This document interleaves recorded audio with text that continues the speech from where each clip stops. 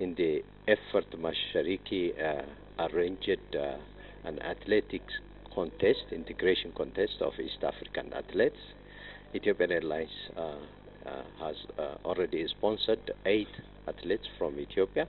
They will be traveling on 27 May from Addis Ababa to Entebbe, and they will participate on the 28th of 29th of May uh, Uh, uh, on the marathon uh, uh use uh, program and we are delighted to partnership and we are happy to be part of the integration program.